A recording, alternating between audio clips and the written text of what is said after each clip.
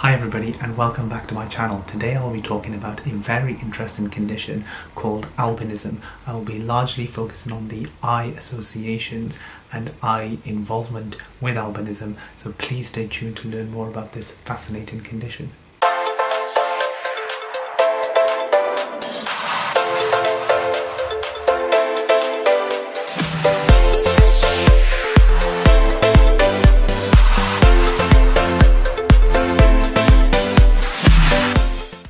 So let's jump straight into this video. Albinism essentially refers to a condition in which the amount of pigment within our body is reduced. It is important to compare albinos to individuals from the same race. So for example, if an Asian individual is believed to have albinism, they will need to be compared to individuals from the same race who generally will tend to have the same level of skin pigmentation and melanin in a normal state. In terms of albinism then, it can affect all different races. In terms of the types, there can be one type which just exclusively affects the eyes, whereas there can be another type which can affect both the eyes and the skin. In terms of the eye findings with albinos or albinism, they can be hugely varied.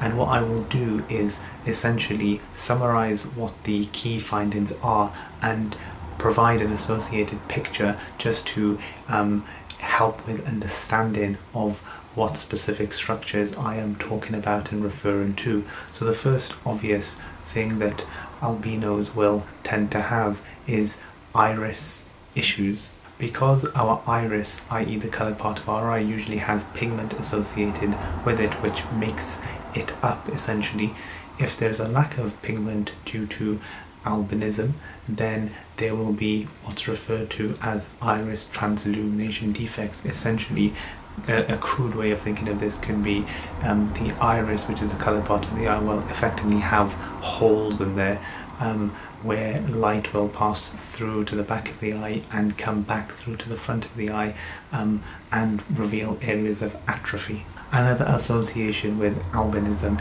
is patients tend to have nystagmus. Nystagmus is essentially where our eye wobbles and this tends to happen in a very rhythmic manner and it's an involuntary movement. In albinism, the retina and different components of the retina will not develop normally, so the two obvious areas where this can manifest is optic nerve hypoplasia and also foveal hypoplasia which essentially refers to underdevelopment of these two areas and therefore this has a knock-on effect in terms of the functioning of these two particular areas.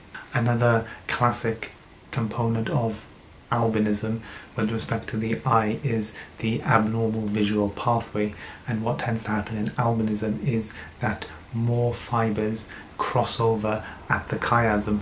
Patients with albinism also have um, a greater association with turns in individuals' eyes and it goes without saying if the iris, i.e. the coloured part of the eye, is not present, then patients will likely be very sensitive to light, which is referred to as photophobia. There are several different subcategories of albinism which have different associated gene defects and are inherited in a slightly different way.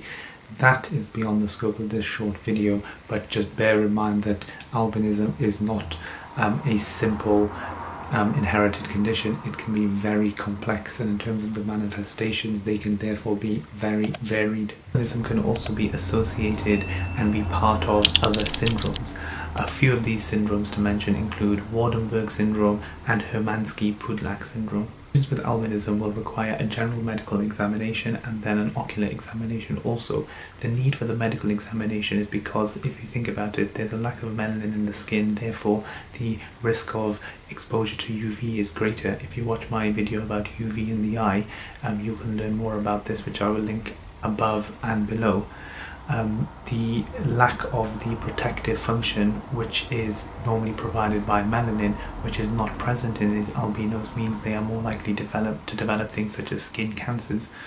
Patients with al albinism will require careful ocular assessment to screen for things such as a refractive error, i.e., do they require glasses? If they have a turn in their eyes, do they require surgery? Do they require sunglasses? Also, a key thing to think about is do they have nystagmus and do they have a turn in their eyes? And if so, would they benefit from any further interventions such as surgery? Thank you so much for watching this short video about albinism. I provided an overview about what albinism is.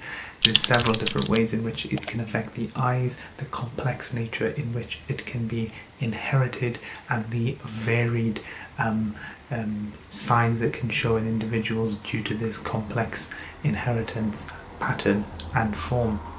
If you've liked this video, please do like, comment, share and subscribe. I look forward to seeing you on the next video. Thank you so much. Take care.